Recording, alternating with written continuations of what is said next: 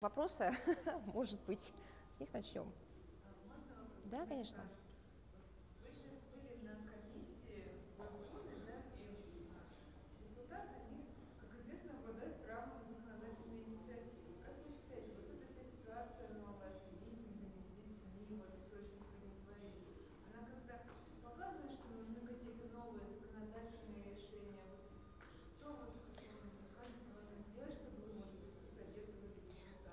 Вы знаете, мы как раз а, на этом мы завершили, ну, в частности, выступление от Министерства иностранных дел о том, что нужно повышать эффективность совместной работы, межведомственной работы а, выработкой решений, которые могли бы действительно способствовать разрешению тех проблем, которые сейчас э, на повестке, которые на самом деле, может быть, еще какое-то время назад и не были а, столь очевидными. Сегодня выступали представители различных ветвей власти, а, Сегодня выступали представители гражданского общества и говорили о том, что мы столкнулись с беспрецедентной ситуацией, когда а, идет прямое и агрессивное вмешательство в внутренние дела нашей страны. Идет оно как спланированная акция, многокомпонентная акция, и одной из целью является, молодое поколение, являются дети, в том числе несовершеннолетние. А, на это нужно реагировать и не только публично. Вы знаете, что мы давали этому оценку, мы разбирали факты, но должна быть действительно реакция, в том числе и в сфере законотворчества, для того, чтобы можно было бы реагировать а, не просто на словах, а непосредственно реагировать так, чтобы подобного не повторялось. Мы фиксируем, как Министерство иностранных дел, прямое вмешательство в дела суверенного государства со стороны, ну, надо, опять же, вещи называть своими именами, натовских структур, в принципе, наверное, ситуация э, такая уже была неоднократно и последние годы в мире, э, и вообще даже в истории нашей страны. Беспрецедентность заключается в том, что так называемые западные коллеги, э, вот этот самый коллективный Запад, они действуют абсолютно без какой-либо правовой э, почвы, вопреки международному праву, вопреки своим обязательствам, которые они на себя взяли как ответственные члены международного сообщества. Но самое главное, они действуют напористо, агрессивно и просто в наглую. Если раньше они еще каким-то образом пытались свое участие как-то закамуфлировать или сделать его ну, может быть, не столь очевидным, то на сегодняшний день просто маски сброшены. И вот эта ситуация, она, конечно, действительно беспрецедентна.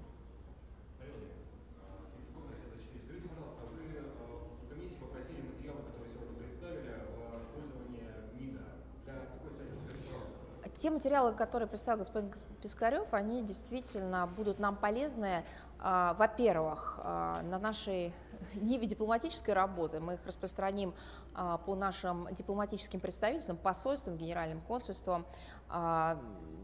Наши посольства будут активно их использовать в контактах с с той стороной и с официальными лицами той страны, где они работают, где они находятся. А, много вопросов возникает, в том числе и у общественности. Не только мы на уровне дипломатов ведем этот диалог, но мы же в том числе отвечаем на вопросы журналистов, я имею в виду наше посольство, наши дипломаты, а, общаемся с представителями гражданского общества, а, кстати говоря, и оппозиции, делаем это на такой действительно по-настоящему правовой и цивилизованной основе. И это будет очень важный фактологический материал, потому что это все факты. Ведь вы поймите, что это не 3D-картинки, которые теперь вошли в моду, это действительно факты, это результаты а, подбора фактологического материала и анализа этого фактологического материала. Потом, на мой взгляд, это будет очень полезно для работы на международных площадках, таких как, например, ОБСЕ и ЮНЕСКО, потому что здесь помимо а, вмешательства во внутренние дела есть доказательства использования новейших информационных технологий, которые ориентированы именно на детей, на юношество и, и являются гибридом сочетания правды и лжи, что особенно опасно.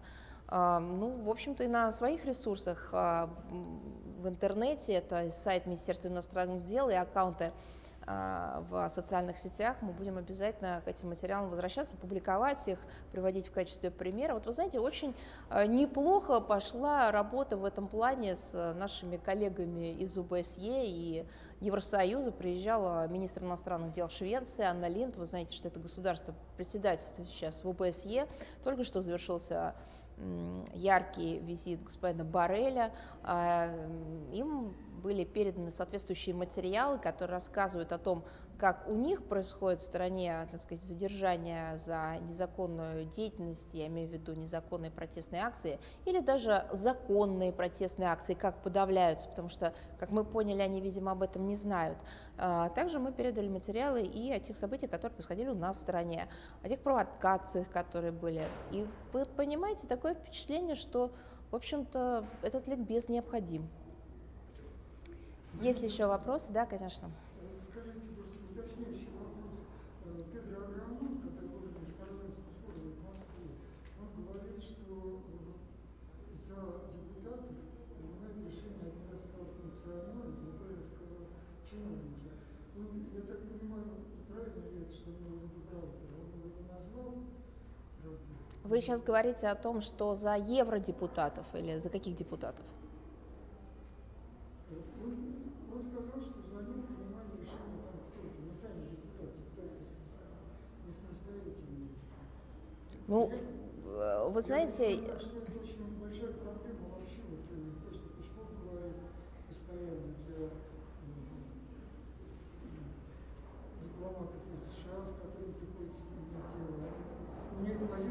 смещается с должности. Ну, это очень сложный, комплексный вопрос. По целому ряду направлений мы видим, как работают а, натовские структуры в информационной сфере. Причем самое интересное, что, еще раз говорю, они этого и не скрывают. Они а, создали большое количество центров, так называемых, по борьбе с дезинформацией и фейками, а на самом деле многие эти структуры впрямую эти фейки и разоблачают. Вот вы понимаете, один конкретный пример. Можно говорить много а, слов в теории. Вот один конкретный пример. Давайте его разберем. А, генеральный секретарь ООН, а, главы государств и правительств практически всего мира, а, главы Министерства иностранных дел. В 2020 году, наверное, больше всего внимания уделили проблематике пандемии по понятным причинам и особенно выделяли ситуацию с распространением фейков – в отношении всего того, что связано с а, этой ситуацией. А, генеральный секретарь ООН, господин Гутерреш, даже, в общем-то, изобрел новый термин «инфодемия». Это распространение дезинформации, дефамация в связи с темами, связанными с коронавирусом. А, решимость была абсолютная бороться со всеми проявлениями этой инфодемии. Вот что мы видим.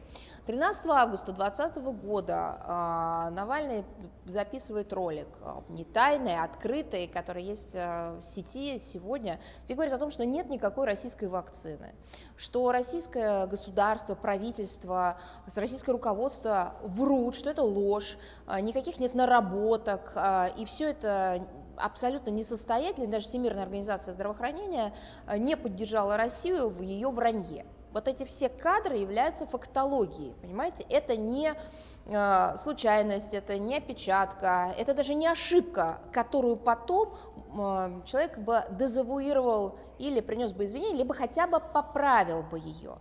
Это и есть классическая дезинформация. Вредна она или не вредна? Безусловно, вредна. Вредна она была для нашей я не скажу аудитории, давайте просто говорить, для людей была вредна, когда люди себя чувствовали брошенными, когда людям навязывалась мысль о том, что о них не думают, что о них не заботятся, что в сложнейший период а, мировой пандемии а, только наших людей, а, так сказать, а, ну вот, лишили а, возможности получить вакцину и намеренно врут о том, что она есть.